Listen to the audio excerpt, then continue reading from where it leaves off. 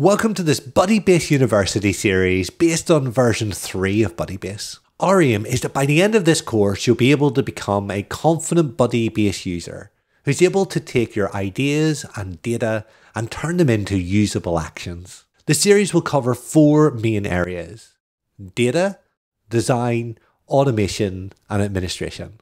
Let's look at each of those briefly in turn now. In the data section, you'll define your data structure manage who has access to which records and columns, and control what actions users can take. We also have access to row actions, which allow us to create and apply automations at a row-based level from the data section. Budibase supports a wide range of data sources, from relational databases like Postgres and MySQL, to non-relational databases like MongoDB, to data stores like S3, and even spreadsheets like Google Sheets. This is alongside Budibase's internal data storage, which uses CouchDB for storage and SQLite for querying. Depending on the data source you choose, the options for securing and structuring your data will vary. For querying based data sources like MySQL and Postgres, you'll be able to create custom queries to be able to access and display your data in more nuanced and customized ways. This flexibility will allow you to create tailored views and automations based on how row interactions happen throughout your application. For example, you can add buttons that might trigger workflows like moving a record through a pipeline. Another powerful feature within this area is views. These allow you to filter your data based on specific criteria, like only showing records for the current logged in user, and also allow you to secure your data once views are created, they can act as the data source for your screens and components when you get to the design section. You can even auto generate screens directly from the data section, giving you a head start in building your app's functionality. Additionally, for data sources like REST, we can transform the data using JavaScript. The JSON data is formatted in the most useful way for your front end.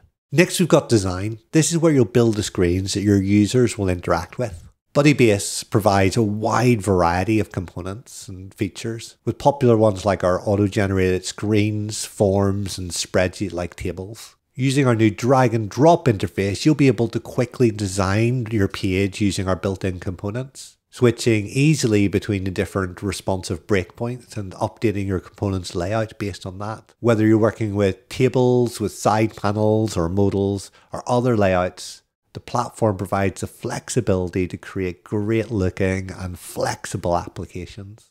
In the automation section, you'll set up automated workflows that are triggered by a variety of events. These can include webhooks coming externally from our application, cron jobs that's running at particular times of the day or the week or the month, or actions within Budibase where a button is pushed and triggers a workflow or a row is updated, created, or deleted.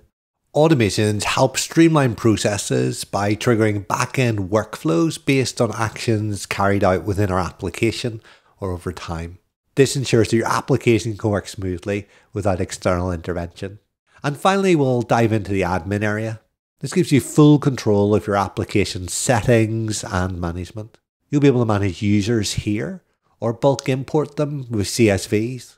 Equally, you'll be able to organize and manage permissions based on group roles. You'll also be able to add and remove plugins from this area, access our verified plugin repository, or use the documentation to help build your own plugins to extend the functionality of Budibase. In the settings section, we've got the ability to add single sign-in support using OIDC or Google. You can add emails so that your application can email your users or you based on events that might happen within your application or, or the ability to renew passwords and also adding organizational branding. And finally, the account page will allow you to view analytics, showing row counts and automation runs. And depending on your subscription tier, we'll see limits here and have the option to upgrade. This course will dive deeper into each of those areas. So by the end, you'll be fully equipped to use Budibase to its full potential. Let's get started.